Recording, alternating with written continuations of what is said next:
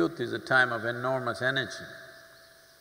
If only there was little more clarity and balance when we were young, how many things, how many things would have happened and how many things would not have happened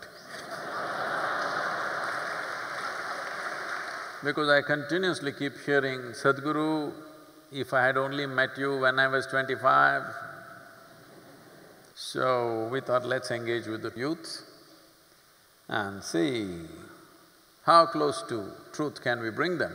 So, this is going to be gossipy. See, right, right from ancient times, whenever somebody wanted to know the truth about something, they always relied on gossip. Something comes out in the newspaper, you don't go by that, you go and ask around somebody says something, that becomes the truth. So gossip has always been a conveyor of truth, not the gospel. it's dead serious. So gossip has been reliable. Though it gets exaggerated, it gets multiplied, everything, people learn how to listen to gossip, filter gossip and get the truth out of it. Don't you? But now with social media, gossip has gone global.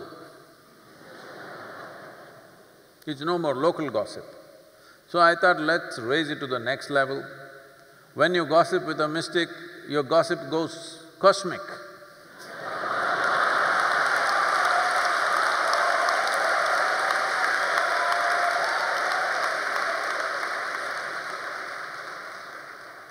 This is not going to be an absolute, this is it, that is it.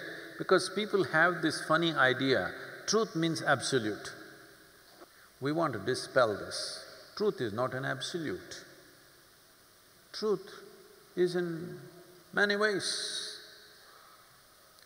The question is, what will be your source of truth? In what way will you experience this? Will you experience this watching a sunset? Will you experience watching a full moon?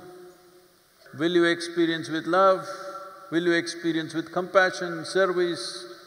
Or will this life will become the basis of your truth? If you rely on the sun… sunset or moonrise, one will happen only once a day another will happen only once a month. Only the life that you are is the basis of your truth. Now, it can be with you every moment of your life.